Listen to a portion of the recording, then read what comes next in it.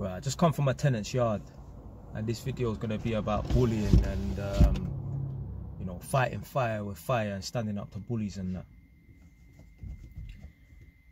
Just come from this tenant's yard, and uh, the son was like secondary school age. I was chatting to him. So anyway, he's at home. It's not half term or nothing like that, and the boy didn't look sick. He didn't look ill. So anyway, I didn't. I did think to myself, where's my man? Where's the little you at home? Why is he not at school? But anyway, I didn't even bother ask. Anyway, gone upstairs with the the mum testing the sockets and that, and she was like, "Yeah, the reason why my son is at home is because we homeschool him, just in case you was wondering." And um, basically, she was saying that um, during the lockdown thing, you know, like a lot of youths and that was getting homeschooled and that, so they kind of jumped on on that. And they was doing that, but he had some problems in school and that. So the mum thought it was best to just take him out of school completely and homeschool him. So I said to her, was your son the problem or was it the school? I.e., was your son causing trouble or was he getting into trouble, i.e., bullying and that? And she was like, well, basically, he was kind of getting bullied a little bit and that. And I was saying to the mum, taking your child out of school because he's getting bullied is not the answer. I had to break it down to her. In life, there's always going to be bullies. Like people think that bullies just occur, bullying occurs in the playground or in the classroom. No. You're a madman if you think that. If you think that bullies only uh, exist in the playground and in school, you don't know nothing about life. Bullies exist in college, in uni, in um in the workplace in people's families. I told her, I know women who are like late 30s, maybe pushing 40s and that. And the younger sister bullies the older sister. There was this man out here, older man that bully their younger brother. And these men are big men. These men are all 40, 50 years old. You can't escape bullies. You have to fight fire with fire. And I was basically explaining to her that um, you know, I spoke about this before. I don't know if you remember in it, but basically that was there was this yardie man that was terrorizing a couple of people on my road and that. And um, for some reason, he must have had a problem with one young Turkish guy. When I say young guy, able-bodied, mid twenties, maybe late twenties or something. He was a couple years older than me. Um, but at the time, he might have been like, yeah, late twenties. He must have put a shank outside, a knife, a kitchen knife outside the guy's doorstep and that. And the guy thought the best course action was to move away. No, I'm not saying man for pick up and pull out and you get me juke man in their chest. I ain't saying that, but what I'm saying is man for fight fire with fire. You can't run away from bullies. You can't escape the sharks. It's only temporary. Now in that situation, yeah, he's probably gonna move somewhere and no one will ever put a knife on his doorstep and that. But blah, man for fight fire with fire. If I had a son that was getting harassed by bullies and that, boy, go to school and knock him out. Fight him. Because you know what? You're not going to win all battles. Yeah, in this world, you're not going to win all battles and that. Yeah, sometimes you're going to lose. Sometimes you're going to have to take the L. That's where it's going to have to be. We ain't getting pushed around out here. Innit? No way. Bullying occurs everywhere. In jail. There's man right now doing crime. Just because you're not a road man and I don't think that you, you get me, you're going to be exempt from going to jail. There's man that do local fraud, local tax evasion, whatever. If you go to jail, you're gonna be around man who have like a wolf mentality, you know.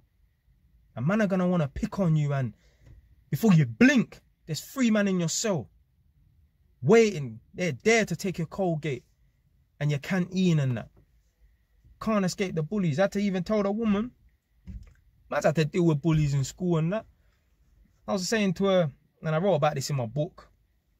If you ain't read the book, go check out the hardback. Get your copy, your hardback copy, or get the ebook version if you don't want to spend the full twenty pound. The ebook ebook version is ten pound or nine ninety nine, and the hardback is uh twenty pound. Wrote about in my book. When I was in school, man was a good youth. Man was not about no smoke.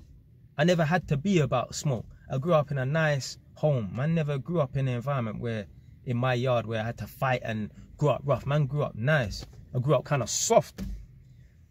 Um, wasn't pampered or sheltered in that, but I just wasn't in, a, in an environment where I had to grow up rough. Let me just make one point. You see them kids here that come that from a young age, they're rough. You understand? Like you know that there's some kids like they're rough and aggressive and that. The reason why they're rough and aggressive is more than likely their household is rough and aggressive. They might have a, a dad that beats up their mum, so that's where they learn their violence from and that. So anyway, man was a cool you. I used to love play fighting and that when I was young, but I wasn't about beef or nothing like that. When I was in school, man, I used to buy and sell crispy drinks and that from the end of year seven throughout my school years and that to year 11. Anyway, boom. And I said to the woman that when I was in the playground and that, I used to be doing my thing and that. And I was like, you know, when you feel like you're being watched, not even feel like I know I'm being watched, there will be some youths and they'll be sitting there, four man deep on the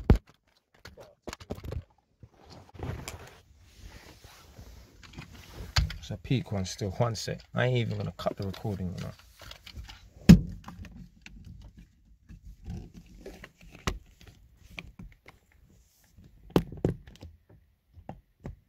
Well, shit happens, innit? Yeah, man's in school. Man's in school. And you know like when you feel like you're being watched? So you sitting on the bench. Next thing you know, them man are getting up. Next thing you know, my hoodie, my blazers coming over my head. Them man are taking my stuff and that. Happened to me a few times. Man used to always be on tilt. I Had to be vigilant when I'm in school and playground doing my thing. And one day, you know like when you just say enough is enough. You're like, fuck that. Then man, they come over and we're playing tug of war with this bag, you know. Playing tug of war with this bag. And um, yeah, from there, man earned the respect of these youths in my in, in my year group and that. Man was, get me, didn't want no smoke with them man there. Next thing you know, I'm one of them man there. Next thing you know, the teachers are telling me that they think I'm the ringleader. Them like, whoa, you, you, you, I think you're taking it a bit too far now, innit? But man, you gotta fight fire with fire. I'd rather become one of the wolves than be a little deer and be a victim. That don't mean that man's, when I say become one of the wolves, that don't mean that man's a bully, but I'd rather join the pack um, then be a victim and that. But that don't mean that man's gonna bully me up to make me join the pack as well. But what I'm saying is, man will rather run with the wolves than be a deer. But you know what? If I have to be on my own and fight everyone, then it is what it is. Let me change this camera. It's getting on my nerves. Too. Oh, well, the recording flipping cancelled anyway. But um, yeah, man, you gotta fight fire with fire. I made that video the other day talking about the fireman that hung himself or whatever, committed suicide, whichever way he did it because he was getting bullied. He didn't fight back, he didn't stand up for himself. This is what happens. When people get bullied, they turn mad. And one of two things comes from it. They say, fuck this. They will either go on a mad spree where they're just going up, smacking up everyone. You see that film, I'm sure even in that film Juice with um Tupac. I'm sure in that film Juice, my man turned mad I'm sure he was getting pricked and he was getting punked and he turned mad. This is what happens to man them on the road when they get pricked and they get punked. They turn mad. A lot of the man that's the baddest man on the road, I guarantee they used to get bullied probably. And one day they say, you know, fuck this. Then they turn into a madman, stabbing and shooting and just putting in bare work on man on the road. So that's one way. That's what happens when people get bullied in that. The second way, when people get bullied in that, they probably go and kill themselves or hang themselves my cousin. Um, he went to school with one youth, and he said, yeah, in his area, Hornsey, this youth, he wasn't rated whatever in it, yeah? He was a dickhead or something like that. My man went to Jamaica for a year, came back, the boss of Hornsey in, the, in, in their generation. Man for stand up for bullies, to, to bullies, man.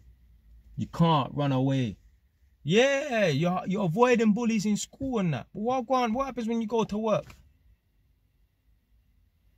Where they and the thing is as well, in work is is is easier to get bullied in work by your managers because they have by default authority over you. They have power over you by default.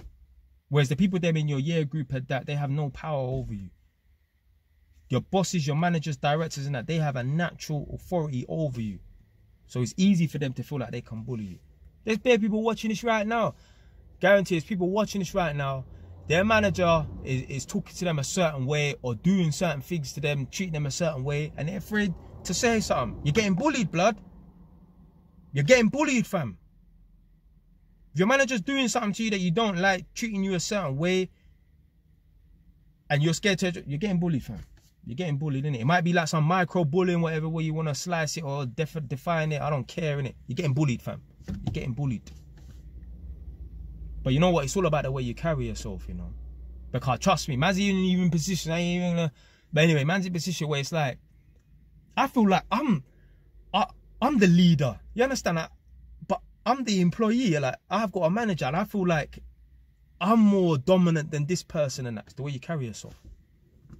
It's the way you carry yourself. People know who to play with.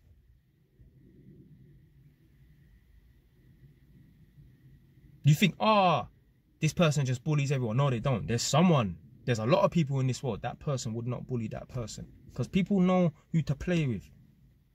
When man are all acting stupid and acting like a chief and that, and you don't check people, you don't put people in their place. No matter how big and rough and tough you are, you're always gonna have to put people in their place. Me, I consider myself a tough guy. I'm one of the toughest guys that I know. I always have to stick it on people. Now, maybe me, I fly off the handle and stick it on people over nonsense, but it is what it is. The way you carry yourself. Even like dumb stuff. You be walking down the road and I don't and you don't have to be a big guy as well. Kinda big guy. I'm 5'9. My weight about 74, 76 kg. Slim.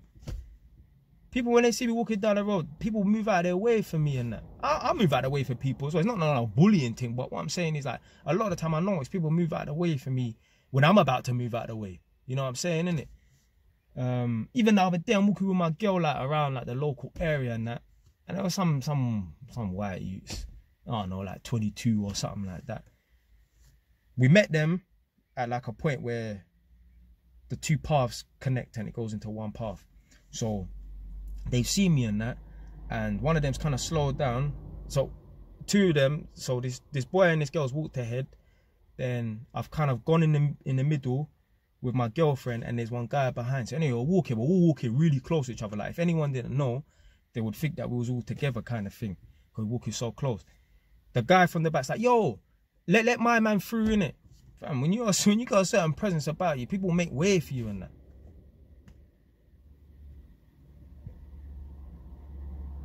Stand up to bullies, man. You can't escape the bullies. You can't run away from the sharks forever. Anyway, man, I'm starting to get hot. But that's that's basically what I want to talk about today, man woman's taking her you out of school, homeschooling him and that because you're getting bullied. What happens when he goes college? What happens when he goes uni? What happens when he gets into the workplace and that? Can't run away from the wolves, man. Stay away, it's done now.